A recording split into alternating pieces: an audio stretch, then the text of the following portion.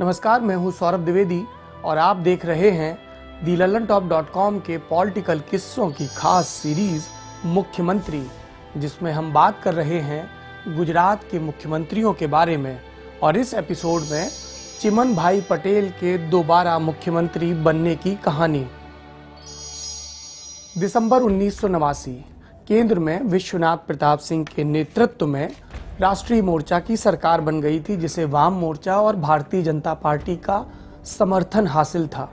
कुछ ही महीनों के बाद गुजरात में विधानसभा के चुनाव होने थे।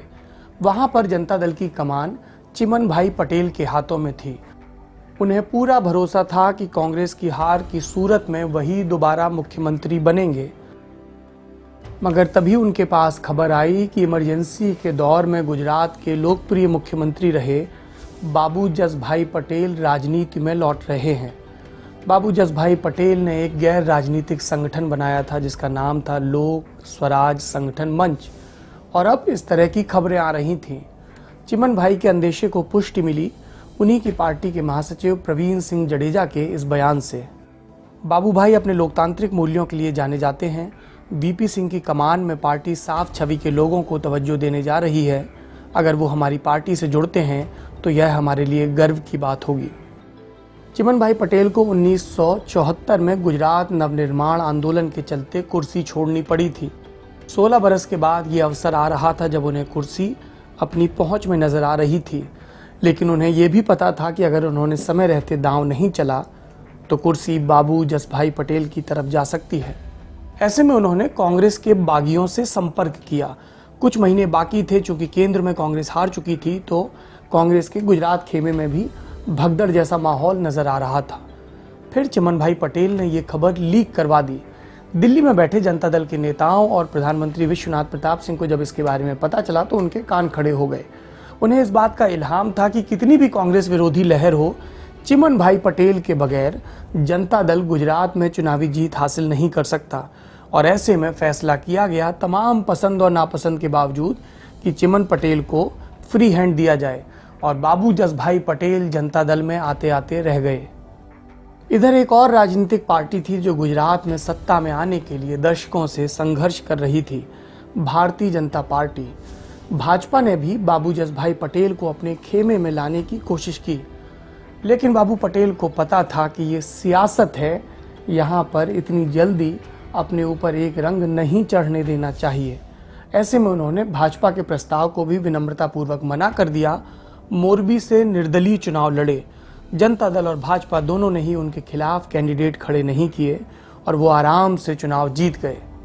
चुनाव, गुजरात के विधानसभा चुनाव। क्या थे उसके नतीजे उस बरस?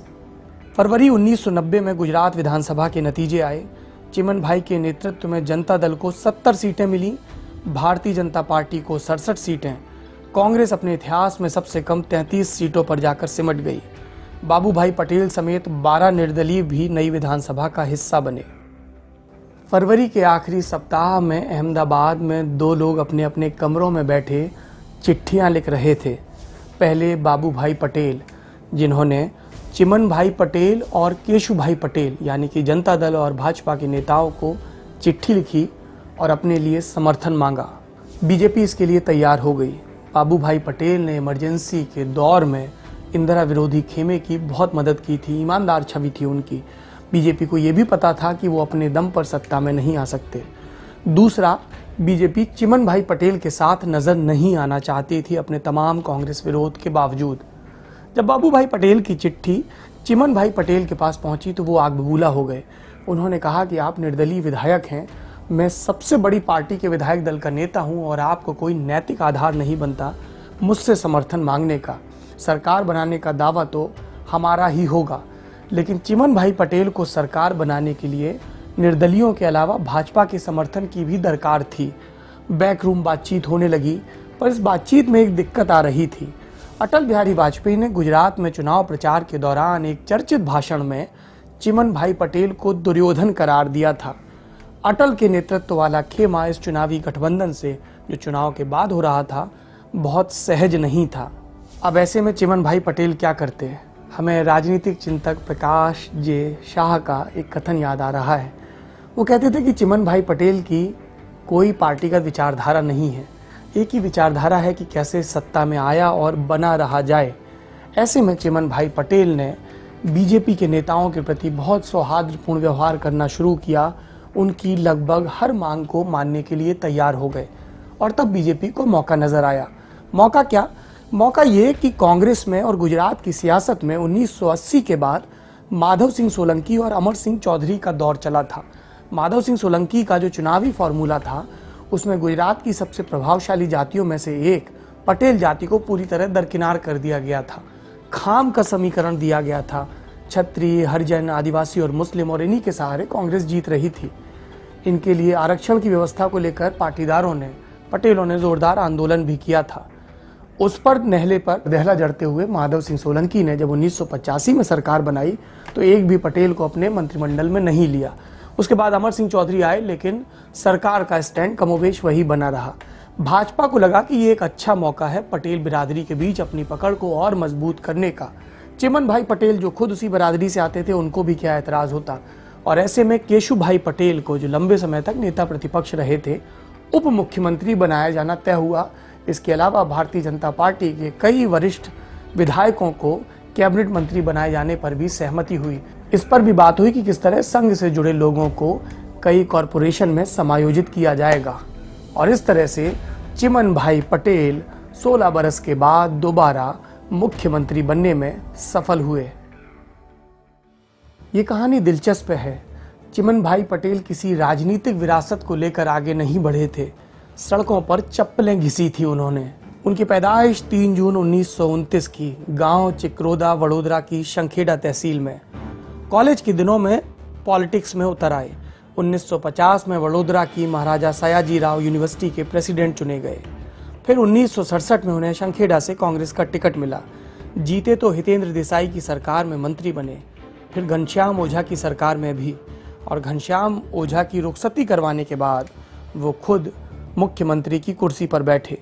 मगर एक साल बीतते न बीतते उनका बुरा दौर आया, महँगाई बढ़ी, आंदोलन बढ़ा और उन्हें मुख्यमंत्री के पद से हटा दिया गया। फिर उन्होंने कांग्रेस छोड़ दी और किसान मजदूर लोक पक्ष के नाम से पार्टी बनाई। इमरजेंसी का दौर बीतने के बाद जनता मोर्चा में शामिल हुए। हास्यास्पद है ना कि जिस जनता मोर्चा ने भ्रष्टाचार के मुद्दे पर शुरुआती दौर में उनका विरोध किया था, तब अलग अलग खेमे थे। उसी मोर्चे में चिमन भाई पटेल जाकर शामिल हो गए थे।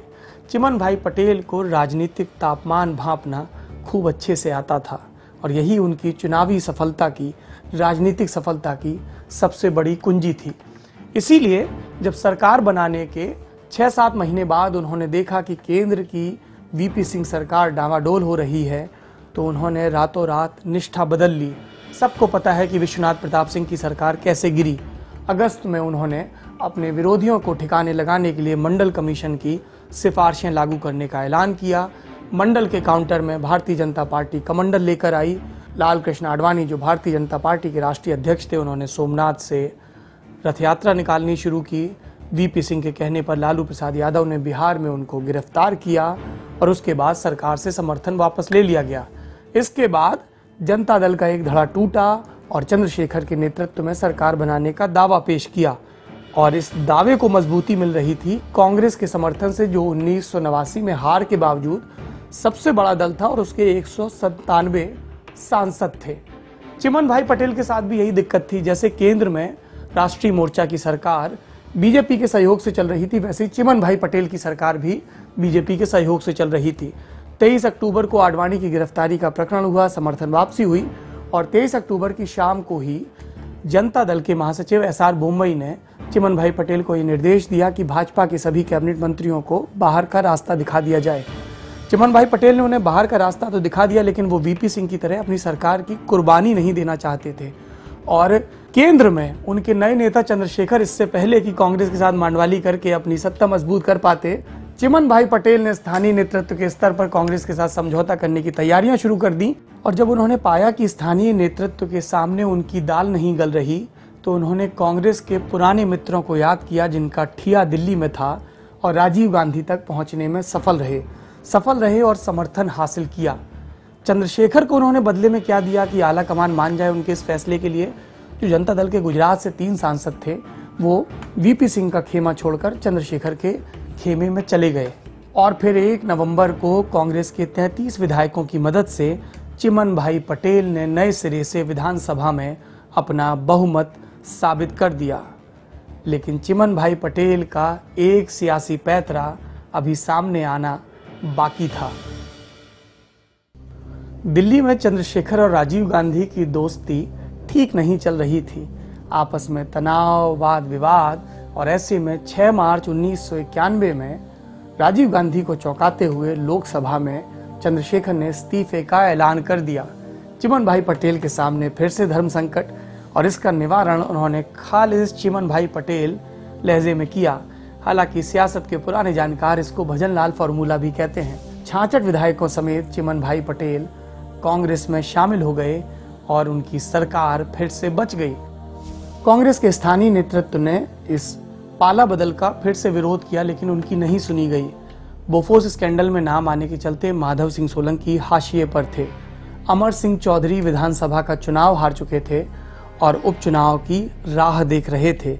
हितेंद्र देसाई की राजनीतिक प्रासंगिकता कम अज कम उस वक्त के राजनीतिक मैनेजरों की नज़र में खत्म हो चुकी थी। ऐसे में कांग्रेस के विरोध पर राजीव गांधी ने ध्यान नहीं दिया। मुझे पुराने दिनों का एक किस्सा याद आ रहा है जो मैगजीन में पढ़ा था कि चिमन भाई पटेल चंद्रशेखर के इस्तीफे से पहले जब दिल्ली जाते थे तो बड़ा रोचक मामला होता था कि सुबह तो वो चंद्रशेखर के सामने जाकर अपनी वफादारी की कस्में खाते थे और शाम को कांग्रेस के नेताओं के घरों से या दफ्तरों से निकलते हुए पाए जाते थे और लुटियंस दिल्ली के जो मीडिया वाले थे वो इस पर खूब चटकारे लेकर किस्से सुनाया करते थे। शायद चिमन भाई को अंदाज़ा हो गया था कि देर सवेर उन्हें कांग्रेस में लौटना होगा। उधर गुजरात के कांग्रेसी चिमन भाई के लौटने से खुश नहीं थे, जैसा मैंने पहले बताया। और इसका नतीजा क्या रहा? इसका नतीजा ये रहा कि जब गुजरात में उन्नीस सौ इक्यानवे के लोकसभा चुनाव के नतीजे आए तो कांग्रेस सिर्फ़ पाँच सीटों पर सिमट गई और भारतीय जनता पार्टी को 20 सीटें हासिल हुई। फिर से कांग्रेस ज्वाइन करते वक्त चिमन भाई पटेल ने एक प्रेस कॉन्फ्रेंस में कहा था मैं हर हाल में अपने पाँच साल का कार्यकाल पूरा करूँगा, लेकिन नियति को ये मंजूर नहीं था। 17 फरवरी उन्नीस को हार्ट अटैक के चलते उनकी मौत हो गई। ये चिमन भाई पटेल की कहानी है, जिसका आज भी न सिर्फ़ गुजरात बल्कि पूरे देश में जब तक ज़िक्र होता रहता है। कोई उन्हें इंडस्ट्रियल पॉलिसी के लिए याद रखता है तो कोई भ्रष्टाचार के इल्ज़ामों के लिए, कोई दल बदल के लिए तो कोई रातों रात निष्ठा बदलने के बावजूद अपनी राजनीतिक प्रासंगिकता बचाए रखने के लिए राजनीति के किस्सों की ये सीरीज़, जिसका नाम है मुख्यमंत्री, जिसे आप देख रहे हैं, the Lallantop dot com पर यूँ ही बदस्तूर जारी रहेगी। अगर आप फेसबुक पर यह वीडियो देख रहे हैं तो हमारे पेज को लाइक करें, दोस्तों को इस सीरीज़ के बारे में बताएँ और कमेंट बॉक्स में अपनी राय से अवगत करवाएँ। अगर आप YouTube पर यह वीडियो देख रहे हैं तो दी लल्लन टॉप के चैनल को सब्सक्राइब करें और बेल नोटिफिकेशन यानी कि जो घंटी का आइकन बना रहता है, चिन्ह बना रहता है, उसको भी हौले से छू दें, ताकि जैसे ही मुख्यमंत्री का कोई एपिसोड अपलोड हो या कोई और पॉलिटिकल किस्सा आपको फ़ौरन से खबर हो जाए। ललन टॉप के वीडियोस देखने के लिए हमारे चैनल को सब्सक्राइब करें और नोटिफिकेशंस पाने के लिए बेल आइकन को प्रेस करें।